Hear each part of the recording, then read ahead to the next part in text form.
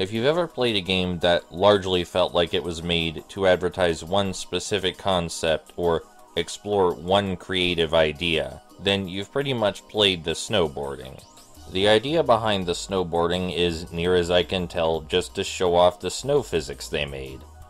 Now, I wouldn't call the physics accurate by any means, but they're pretty crazy, and yeah, watching your snowboarder fly around all over the place when he hits the slightest bump or hill is pretty entertaining. The idea that they could make these physics is probably what prompted them to make the game, because the physics are so outlandish. And don't get me wrong, the physics are extremely entertaining, but there just isn't a lot here to do outside of the physics. There are two modes, there's a race mode and there's a trick mode. In the race mode, you simply have to reach the bottom of the mountain before time runs out. And each course takes place on the same mountain, you just tackle the mountain from a slightly different angle each time. So there's not a whole lot of content there. Actually reaching the bottom of the mountain in the allotted amount of time isn't too difficult either. I had a few close shaves in the later courses, but as long as you keep mashing the speed up button, which has virtually no downsides and play as the character that has adequate turning, then you should always reach the bottom as long as you're pointed in generally the right direction.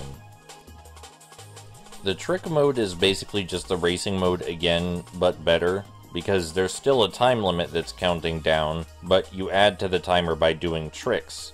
The more impressive the trick is, the more time gets added to the timer, so that way you have more time to reach the bottom.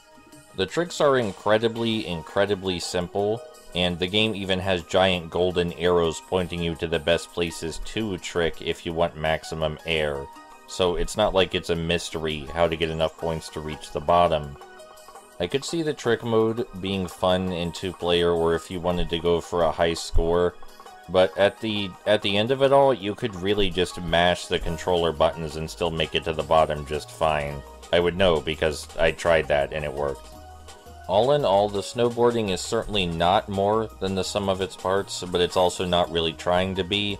If you want to play around with really wacky, unrealistic snowboard physics and do wild tricks that require almost no effort, then, you know, you can play the snowboarding for 10 minutes or so.